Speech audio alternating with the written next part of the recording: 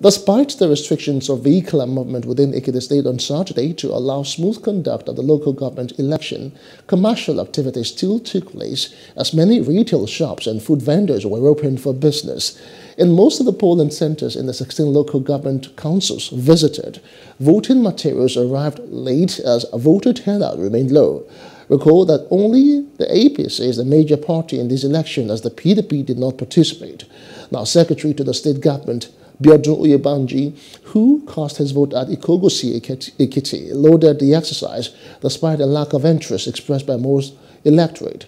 A former governor of Ekiti State, Segun Oni, said the PDP was through from Saturday's poll because the APC lacks the necessary democratic values to conduct a free and fair exercise. I think it's going on very well.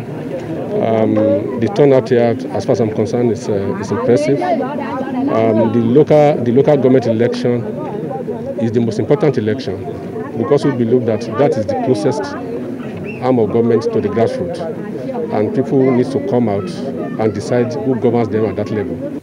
If we are not contesting under SIEC, what we are saying is simple, and that is a message you should carry to the people we don't have any confidence in the democratic credentials of this government in power. And we don't want to fool ourselves. That's what I'm saying. We don't believe in their democratic credentials. I've told you. A former chairman of the All Progressives Congress in the state, Delaware, blamed the leadership of the party for the low turnout. The opposition parties are now participating. It's a one-way traffic election, and which is not good for democracy. The idea of winner takes it all is affecting our democracy.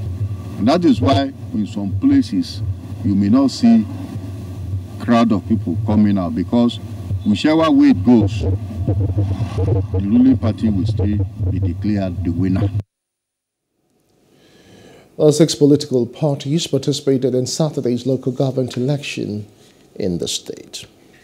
Hello. Hope you enjoyed the news. Please do subscribe to our YouTube channel and don't forget to hit the notification button so you get notified about fresh news updates.